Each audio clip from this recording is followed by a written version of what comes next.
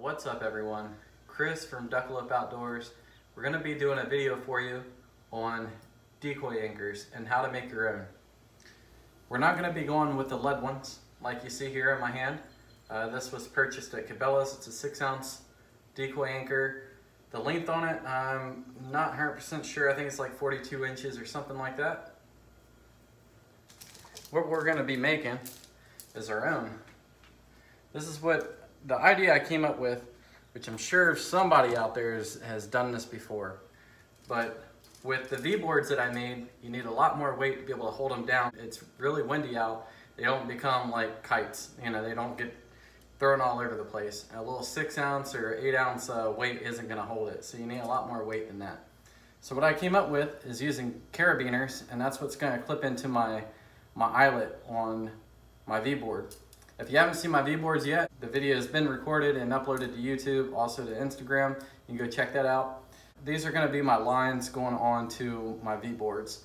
So it's a carabiner, and I got your, your normal like crab line, and I gave it some a decent length to it.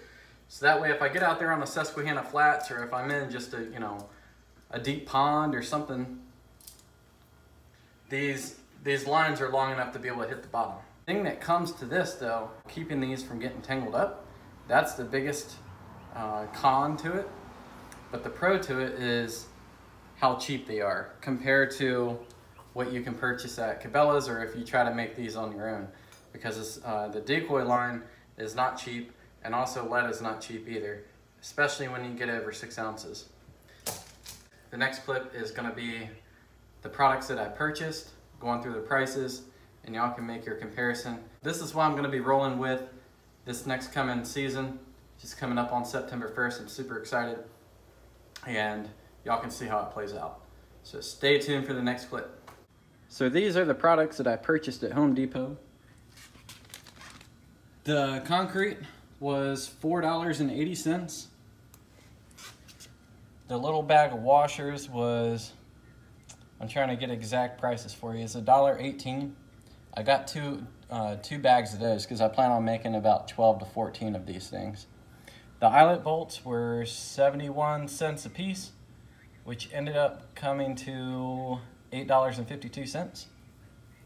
The little bucket was like two bucks. I'm pretty sure you can go to Dollar Tree and pick something up cheaper to include like the thing to mix up the concrete and to pour it.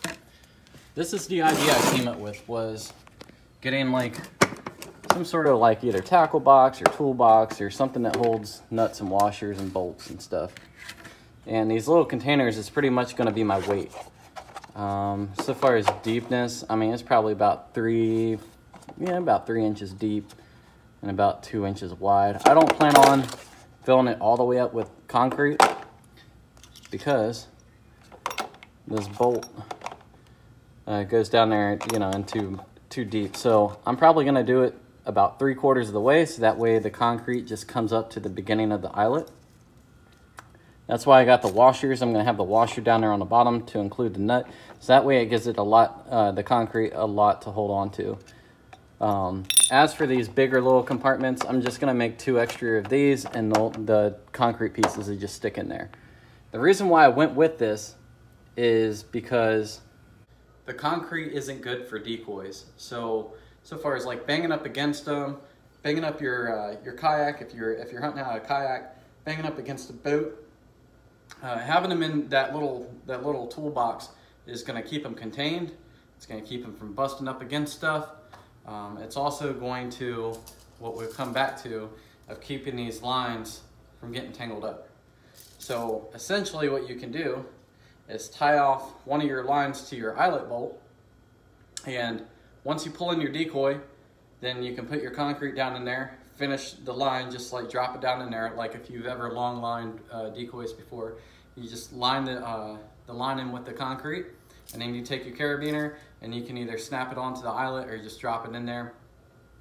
And there you have it. So you can just do that for the individual ones.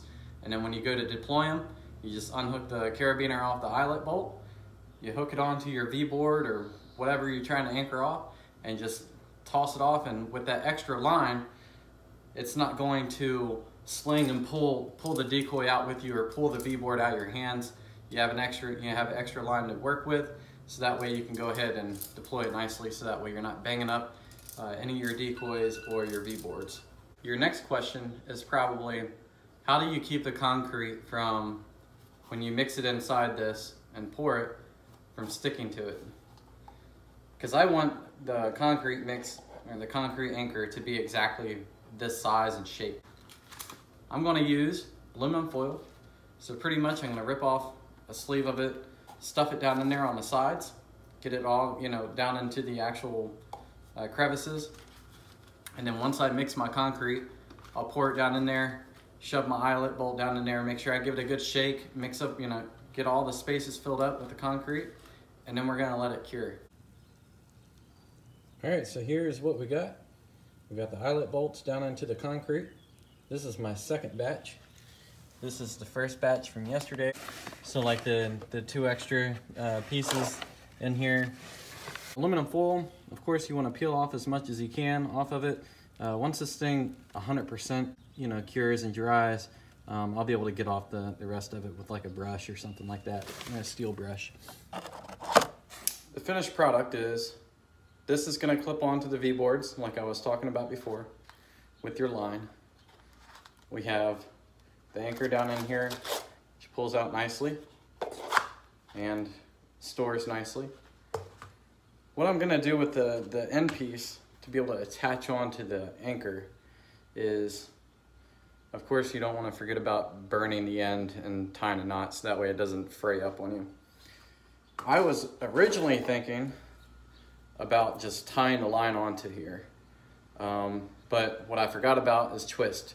So if the V-boards are twisting or your decoy is twisting or whatever you have at the top of the water is moving around, with line like this, um, it's gonna, it, it'll get all bound up and wound up on each, you know, on itself um, without some sort of swivel. So I'm either going to attach an inline swivel to where I have an eyelet on both sides. That way both ends can uh, twist or I'm just gonna get a normal swivel like you use fishing, just attach onto this. And then once you're done and everything is stored up and it's attached, you can take your carabiner and latch it onto the eyelet. When you compare prices, I feel like this is cheaper when you get to the weight comparisons, but when you get to quality, and ease of use so far as like keeping stuff untangled, keeping things attached to whatever device that you're using, whether if it's a, floater decoy or V-boards, that would probably benefit you more in having the decoy line and a lead weight. But I hope that y'all like the idea. Uh, maybe something that you want to try. If you have any questions, just leave it in the comments. Be sure to give me a thumbs up.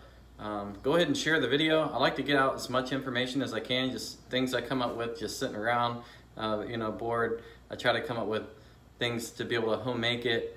Hopefully, you know, make things cheaper because as we all know, duck hunting, goose hunting, waterfowl in general is very expensive. Uh, so if you can always save a dollar by making making stuff on your own, I hope y'all enjoyed the video. Be sure to subscribe, follow us on Instagram and Facebook, and y'all have a good one.